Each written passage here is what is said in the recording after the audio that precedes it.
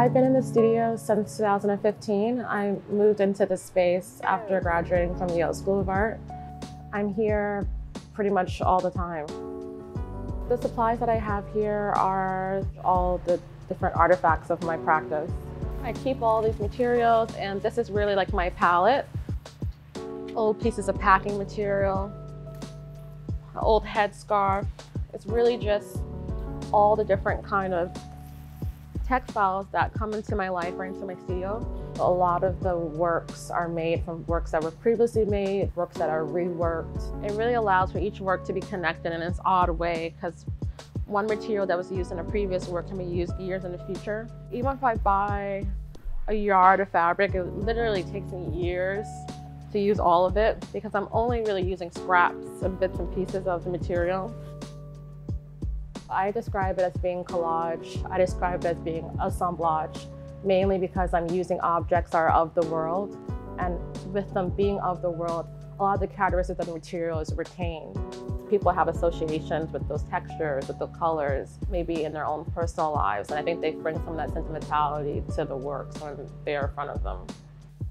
This is one of the new works that I'm making for the ICA Boston show.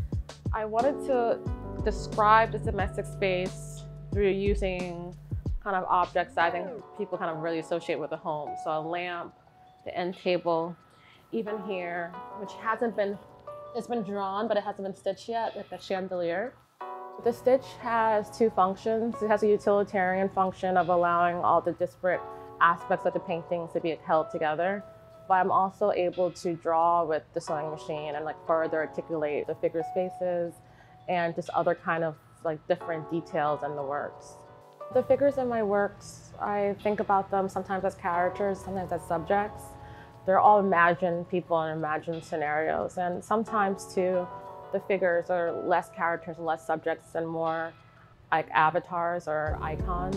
They are meant to kind of hold and retain overarching ideas about a particular kind of lived experience. A work that I would consider to be more of like an avatar would be a painting like Pant. Her third leg is meant to be kind of a phantom appendage, which speaks more to part of her personality rather than like a realistic dimension of her physical form.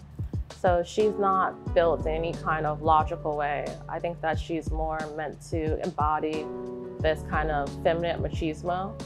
As a storyteller, I want to develop like round figures. Some works speak to the unconscious elements of my subjects and some speak to like their like tangible reality. Right now, I'm starting to work more simultaneously on my sculptural practice, thinking about ways in which those works can be installed in spaces with the paintings and create kind of different and alternative narratives than I've done in the past. So even though this figure's in the round, I still feel like this very much connected to the paintings because in, in kind of making it, I used plaster gauze, which is another kind of form of textile. So they have a lot of the kind of patchwork aesthetic that's also in the paintings. Some works start from sketches and some works just come from me building slowly, allowing for the materials just to build on one another and then imagining back into those objects like how they could function as part of the form or part of the figure. It's just me kind of reworking those materials to create like, new images and new narratives.